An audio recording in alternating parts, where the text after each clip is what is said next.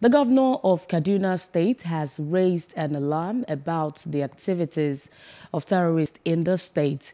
Governor Nasir El-Rufai expressed concern that the terrorists are moving from the northeast to the northwest with the intention of causing havoc. The governor expressed worry that the conduct of the 2023 general elections might be compromised in Kaduna State if the security challenges are not being addressed. Hello. Hope you enjoyed the news. Please do subscribe to our YouTube channel and don't forget to hit the notification button so you get notified about fresh news updates.